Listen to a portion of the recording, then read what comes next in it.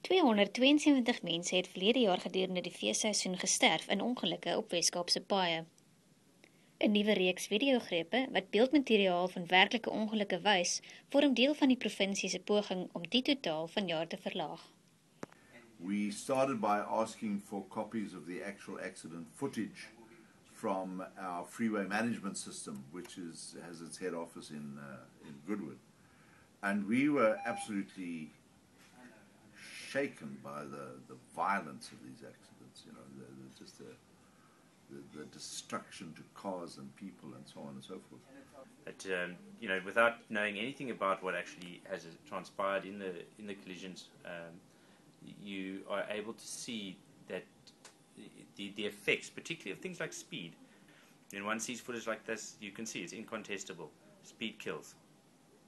We realized that it was probably important for the general road using public to also see um, just how violent a high speed accident is um, and, and what happens to people in a, in a high speed accident. Um, what it is that has three women in broad daylight, in perfect traveling conditions, going at a legal speed up the outside lane um, of the uh, of Hospital Bend um, and a few seconds later, they in a smashed Hulk burning furiously, in which one of them dies. Um, you know, it's it, it, it's that kind of thing that we needed to get across to people, and uh, hopefully, the impact of that is going to be that uh, that thinking people are going to look at this and say, well, I need to change my behaviour, and who will talk to other people and say, perhaps it's time we all changed our behaviour.